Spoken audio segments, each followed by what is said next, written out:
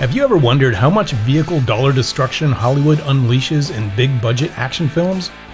We're talking about real mega dollar rides utterly demolished in the name of cinematic glory. In this video, we feature 10 jaw dropping crash tastic moments when Hollywood destroyed insanely expensive cars. The criteria to make it on this list is that actual production cars would have had to have been destroyed, and not just fakes or shells dressed to look like the real thing. So let's suit up, strap in, and get on with it. In the 1997 action thriller Con Air, Nicolas Cage plays a paroled convict who finds himself on a hijacked prison transfer plane, fittingly named the Jailbird. While the film mainly deals with aircraft and the conflicts between prisoners and guards, a sweet 1967 Chevrolet Corvette convertible grabs some screen time as well, a timeless symbol of American power and style. The 1967 Corvette was the last year of the second generation of the model, with some considering it the best styled of the early versions. Available with engine options including 327, 396, or 427 cubic inches, this car was sporty and quick. Throughout the film, the Corvette appears in several scenes driving along the open road and then finding cover in an airstrip outbuilding. Its most memorable moment, though, is when the car gets hooked by a rope attached to the departing jailbird and goes on the ride of its life where it ultimately gets dragged through a tower structure and lands upside down and flattened in the dirt. The destruction of the Corvette adds to the film's thrilling action, However, considering the car's value, it might be a surprising directorial choice as a pristine 327 powered 1967 Corvette can fetch around $100,000 these days. While reports don't confirm the exact number of Corvettes used in filming, it's safe to assume at least one valuable car was sacrificed for the scene. The Road Warrior is the second film in the Mad Max franchise where the setting depicts the realm of a post apocalyptic dystopia where fuel is precious and barbarism is the rule of the day. Max Rockatansky, played by Mel Gibson, brings along his heavily modified and supercharged Pursuit Special to do battle with a roving pack of marauders. The Pursuit Special is a modified 1973 Ford Falcon XB GT Coupe it is actually the same car that was used in the first Mad Max movie. In the film, we're treated to epic scenes of vehicular mayhem and destruction with the cobbled together Marauder vehicles meeting their demise most brutally and spectacularly. Mercifully, the Pursuit Special as the hero car was never destroyed during its film work duties and resides in a museum in Florida these days. However, a stunt car was created from another 1973 Falcon XB GT that was destroyed and blown up in this scene.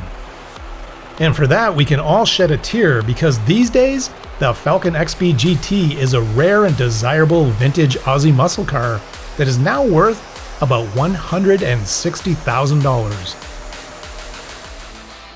The 2005 remake of The Longest Yard starring Adam Sandler as disgraced NFL quarterback Paul Crewe takes an unexpected turn with the inclusion of a 2005 Bentley Continental GT, the prized possession of Crewe's girlfriend. The Bentley Continental GT debuted in 2003 with a 512 horsepower V12 engine that could rocket it from 0 to 60 in 4.8 seconds. Not bad for this whisper quiet, exquisitely styled Poshmobile. In the movie, Sandler's character leaves a party after a few too many barley pops and gets pulled over by the law. He doesn't stay pulled over for long and soon attempts to flee by first backing into a police car and then going on a high speed pursuit where he weaves through traffic, grabs some air, and even drives through a pedestrian area before a final crash where the Bentley is destroyed in an intersection by a horde of police cars that ram the abused Continental from every direction. While only one Bentley appears on screen, the destruction was real.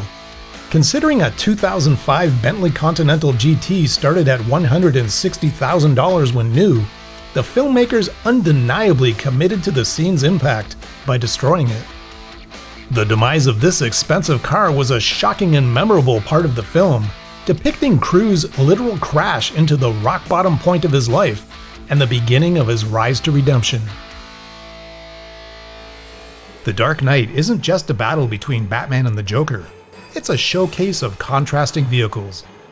The heavily armored Batmobile embodies stoic determination, while Bruce Wayne's daily driver, the 2008 Lamborghini Murcielago LP640, reflects a different side. Murcielago, meaning bat in Spanish, is a fitting choice. Its sleek, aggressive design features a V12 640 horsepower engine capable of reaching speeds exceeding 200 miles per hour. This perfectly embodies Bruce Wayne's billionaire playboy persona while subtly hinting at his nocturnal activities. Bruce Wayne, driving the Murcielago, attempts to thwart an assassination of his accountant by one of the Joker's henchmen, who is poised in a heavy duty pickup truck to ram a police car carrying his target. When the hitman moves on the SUV carrying his victim, Wayne inserts the Lamborghini between the truck and the SUV and absorbs the impact of the crash, thus destroying the Murcielago. To the dismay of exotic car enthusiasts everywhere, three Lamborghinis were used to film the scene on Chicago's Lake Street, with one meeting its crunchy demise in the intense stunt sequence. Back then, a new Murcielago cost a staggering $345,000 leaving some to shed a tear that such a road eating rocket would be destroyed for the film. The plot of this classic film doesn't get any simpler. Deliver a 1970 Dodge Challenger RT with a 440 Magnum engine from Denver to San Francisco in under 15 hours. The Challenger RTs used for the film were speedy powerhouses. Packing a standard 440 cubic inch V8 engine, they symbolized raw American muscle and freedom on the open road. In the film, the Challenger becomes an extension of its driver's rebellion with epic chases, mind blowing jumps, and high speed highway runs with the limit defying Challenger making it seem like child's play.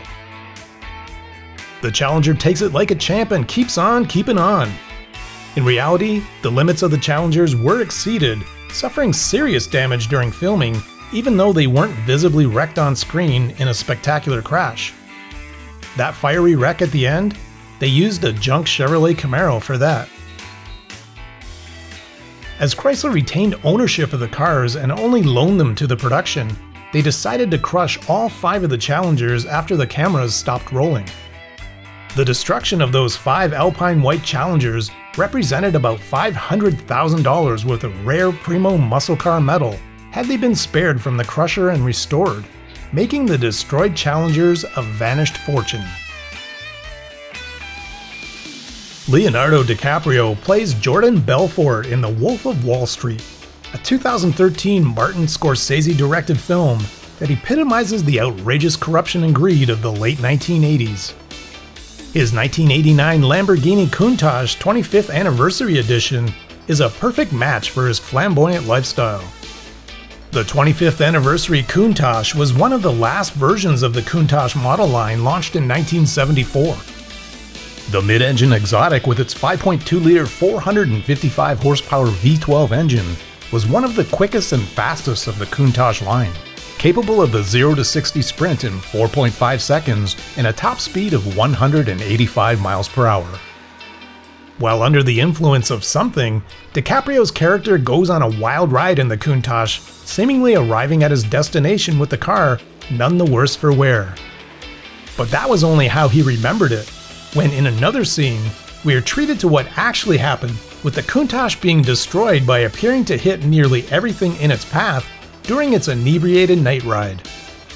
The film used two Countach 25th anniversary cars, one was for the non-destructive driving scenes, while the other was used for the punishment scene. The cars originally stickered for $145,000 when new in 1989 and are worth about $400,000 these days at auction. Interestingly, the uncrashed version of the Countach sold at auction in December of 2023 for $1.65 million, while the crashed version failed to sell after an unaccepted bid of $1.35 million at an auction in November of 2023. Iron Man 2 wasn't just about Tony Stark blasting bad guys in his tricked out suit. Amid the heart pounding action and technological marvels, one standout feature is the 2010 Rolls Royce Phantom, a symbol of luxury and refinement. The 2010 Phantom epitomizes elegance with its timeless design and opulent interior.